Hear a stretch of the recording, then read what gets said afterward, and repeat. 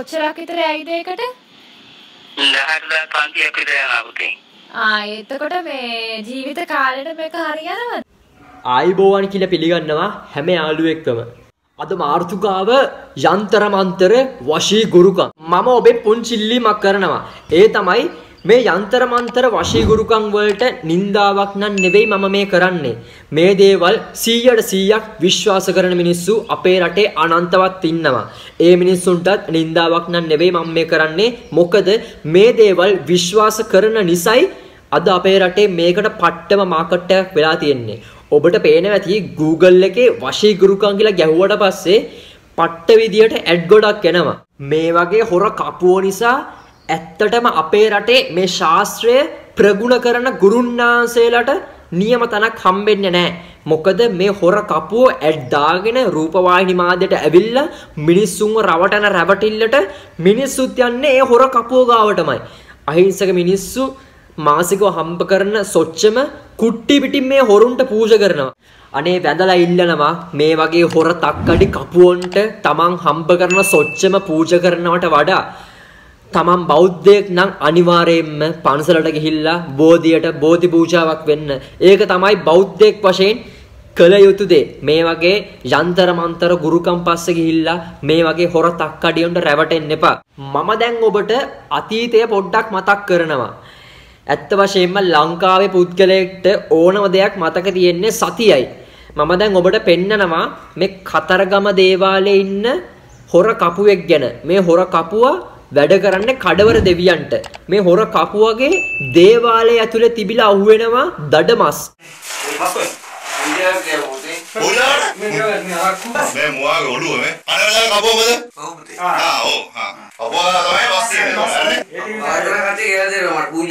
පූජාවට මස් කරලා දෙන්නේ? මොස් ඔව් දෙයියන්ට පූජා කරන්නේ මොස් කරලා දෙන්නේ? ඔව්. පුතේ. දැන් බීලා ඉන්නේ ඔව් ඔන්න බලන්න තමන්ගේ ලිංගික ආශාව සපුරා ගන්න කපුවෙක් විදිහට රඟපාන හොර කපුවා. මල්කි නතාෂා මාගේ නතාන අසුල්ල වේරාන්න අසුර වෙල්ලාම් මේ බක්කුම සුද්ධ කරලා ඒ ටික අයින් කරලා දෙන්නද? ඒකට අද ඉන්න බැරිද? ඒ හිටුව මොකද මම ඕක කරන්නේ හැමතිස්සෙම රන්න වෙන්නේ. ඔව්. හරියටම හරියයිද? හරියට හිතේ විශ්වාසයෙන් කරොත් ඉතින් මෙතන කොහොමද එහෙම කරන්නේ? මෙතන දෙයියොත් ඉන්නවානේ දැන් යන්න තරක් වෙනවා ද යන්නත් ඕනේ ඉක්මනටම. පැයක් පැය භාගයක් හැර ඉන්න පුළුවන්ද? ඒ කියන්නේ ගොඩක් දුරද? දැන් මතකද?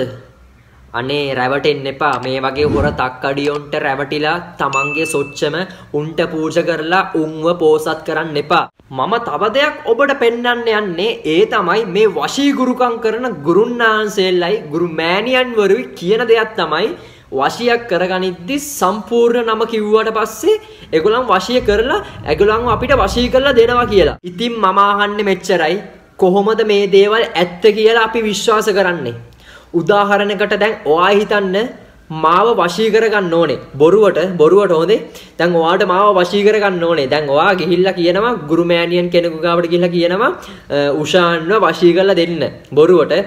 දැන් එතකොට ගුරු මෑණිය කියලා උෂාන් උෂාන් වගේ උෂාන් මොනාරි ඒගොල්ලන්ගේ තියෙන මන්ත්‍රය යන්ත්‍ර දාලා උෂාන් කියන නම කියනවා. එතකොට ඔයා ගාවට එන්නේ මේ ලෝකේ ඉන්න ඔක්කොම උෂාන්ලා ඔයා ගාවට එනවා. එතකොට ඒක හරිද? එතකොට ඔයාලට විසුමක් වෙන්නේ නැහැ හැම පිරිම හැම උෂාන් කියන හැම කොල්ලෙක්ම වාගාවට ආවට පස්සේ මොකද්ද මේක වෙන්නේ? ඉතින් ඇත්තටම පේන්නේ මේක බොරුවක්. ඒ දේ මම දැන් ඔබට ඇත්තටම පෙන්නනවා මම දැන් කතා කරනවා එක්තරා ගුරු මෑණියන් කෙනෙකුට මම දැන් කතා කරලා අහනවා මට වශියක් කරගන්න ඕනේ කොහොමද ඒ වශිය සිද්ධ කරන්න කියලා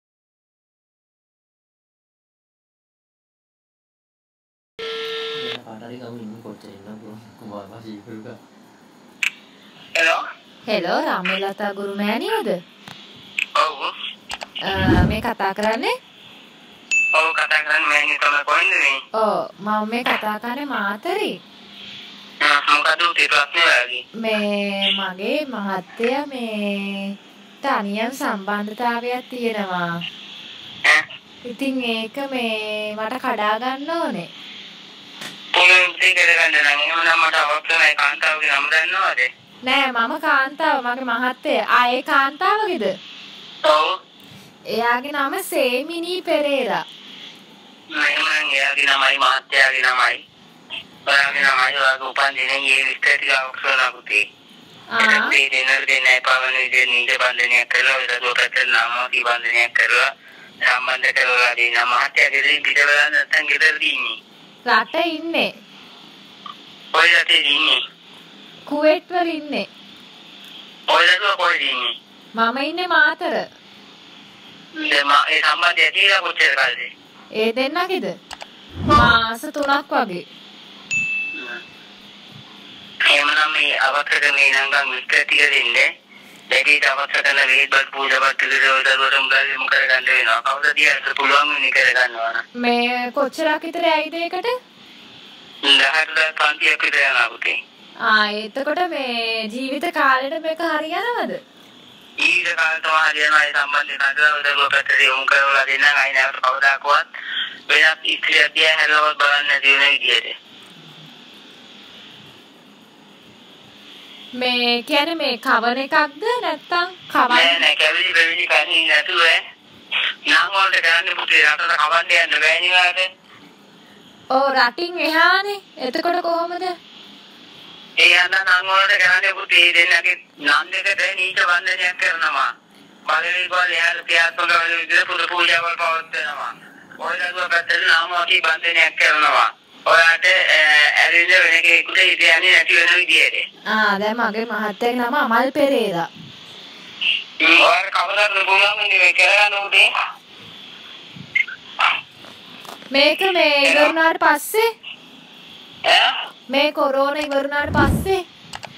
ආහා ප්‍රශ්නයක් අවට පුළුවන් නම් මට රංගන් විස්තර ටික දෙන්න. වැඩිට අවශ්‍ය කරන වේදල් කුල පිළිතුරු මුලාදෙම් කරගන්න. වැඩි මම මේන් කරලා දෙනවා ඔයාලා බලාපොරොත්තු වෙච්ච වෙන විදිහට. මේ මගේ මහත්තයාගේ නම දැන් අමල් පෙරේරා. එතකොට අර සින්දු කියන කෙනෙකුත් ඉන්නවනේ අමල් පෙරේරා කියලා ඉතින් එයා ඔයාගේ මහත්තයා නෙවෙයිනේ පුතේ. නම එකයිනේ ළමයි කොහොමද ඔයාගේ මහත්තයා නෙවෙයිනේ වාගේ එයාට නෑනේ වාගේ මහත්තයාට විතරයි වාගේ. ඒ කියන්නේ ඔය අපේ හිතේ තියෙන එක්කෙනාට දුවා කරන්නේ ඔව් ඔව්. ආ ඒක බලන්නේ කොහමද? ඒ කියන්නේ? මගේ හිතේ එක්කෙනා ඔයා කොහොමද බලන්නේ? ඔයාගේ මහත්තයාට නේ මේ දේ කරගන්න යන්නේ. ඕ ඉතින් නම් එකයිනේ නමටනේ දැන් ඔයා කරන්නේ ඉතින් ඔයා අනිත් එක්කන ඔයා ඔයාගේ මහත්තයා නෙවෙයිනේ. ආ. හා හා. හරි එහෙනම් මං කෝල් එකක් දෙන්නම්. හරි හරි. ආ ඇත්ත වශයෙන්ම ඔබට හොඳාකාරවම ඇහෙන්නේ නැති මේ ගුරු මෑණියන් මොකද්ද මට කිව්ව කියලා. ඒ කතා කරේ අපේ අක්කා. මට මොකද කතා කරන්න බෑ. අ, මට ඒ සම්බන්ධව අ, කතා කරන්න හැකියාවක් නැහැ. මම ඒ නිසා අක්කට බාර දුන්නා අ, පොඩ්ඩක් කතා කරන්න මිස්තර කියන්න කියලා. ඔයාට ප්‍රශ්න තියෙනවා නම් ඔයාට එන්න එන්න කරදර වැඩි නම් මේ වගේ හොර කපුව ගාවට ගිහිල්ලා උන්ගේ මායම් වලට රැවටෙන්න එපා. තමන්ගේ සොච්චම උන්ට පූජා කරලා උන්ව පෝසත් කරන්න එපා. කල යුත්තේ මෙයයි තමන් බෞද්ධයෙක් නම් අනිවාර්යයෙන්ම පන්සලට ගිහිල්ලා බෝධි පූජාවක් තියලා තමන්ගේ දුක කියන්න එතකොට අපිට පිහිටක් ලැබෙයි. මම හිතනවා මේ වීඩියෝ එකෙන් ඔයාට යම් දෙයක් ජීවිතයට අරගන්න ඇති කියලා. එහෙනම් මම මෙතනින් නවතිනවා. හැමෝන්ටම බුදු සරණයි. දෙවි පිහිටයි. ජය වේවා.